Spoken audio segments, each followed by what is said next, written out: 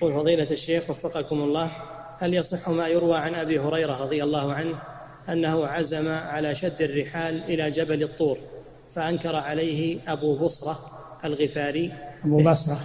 أبو بصرة الغفاري بحديث لا تشد الرحال فعدل عن ذلك رضي الله عنه. نعم. نعم.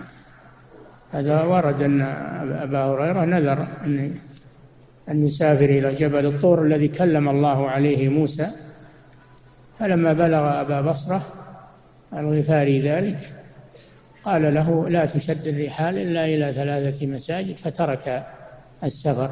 نعم.